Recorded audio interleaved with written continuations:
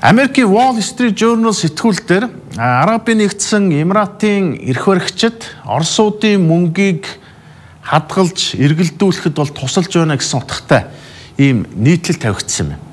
Өөрөөр хэлбэл Америкийн нэгдсэн улсын гол холбоотнуудын нэг, Европын холбоотнуудын нэг.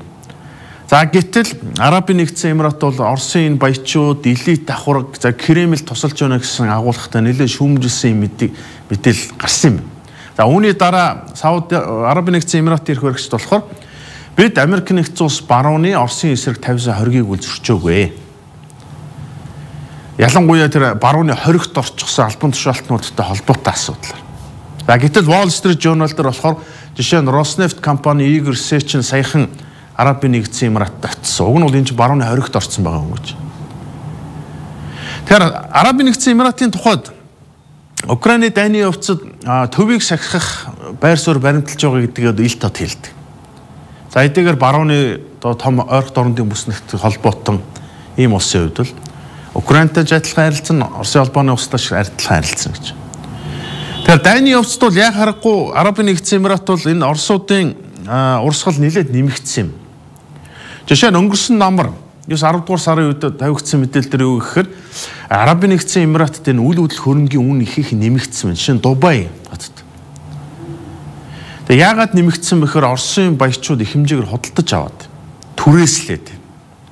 Тэр нөгөө тэнд амьдардаг өөрсдийнх нь жишээ нь энэ дайнаас өмнө бол Арабын нэгдсэн Эмиратын энэ Абу Даби, Дубай гэдэг энд хотууд ч юм уу тэртээ гадаад дээргээд баг оршин суугчдынх нь нилээд үлэм жисгийг бүрдүүлдэг юм усод очив том том компаниуд үйл ажиллагаа болдог. За гэтэл дайны улмаас Оросуудын Европ тийшээ за Америк руу ч юм уу ингээд гарц хаагдсан учраас Арабын нэгдсэн Эмират руу очсон гэж. За Wall Street Journal дээр бичснээр жишээ нь Арабын нэгдсэн Эмиратын Дубайн зарим томоохон банкуд Оросын банкны ажилтнуудыг ажилуулад Оросуудад зориулсан тусдаа салбарт ингээд бүр гаргачихсан байна гэж. За мэдээж Орос хэлтэй хүмүүс Орос хэлтэй хүмүүстэй л харьцна гэсэн.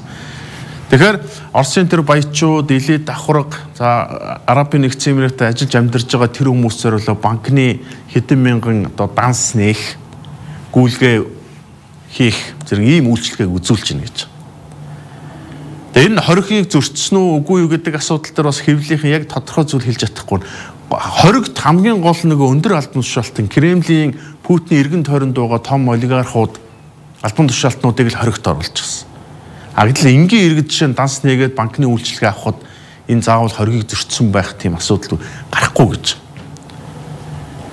За тэгээд үл хөдлөх хөрөнгийн салбараар тэр түрээс гэдэг бол энэ асар үнэтэй амжиргаа өндөртэй том хотуудад бол мэдээж үн нь бол нэмэгдсэн гэдэг нь нэг том асуудал байдаг. За дээр нь эрчим хүчний тухайд бол Арабын нэгдсэн Эмират Оросын холбооны усаас хямдар усан үнээр хэмжээний газрын тосны бүтээгдэхүүн худалдаж авч байгааг Wall Street Journal дээр онцолжээ.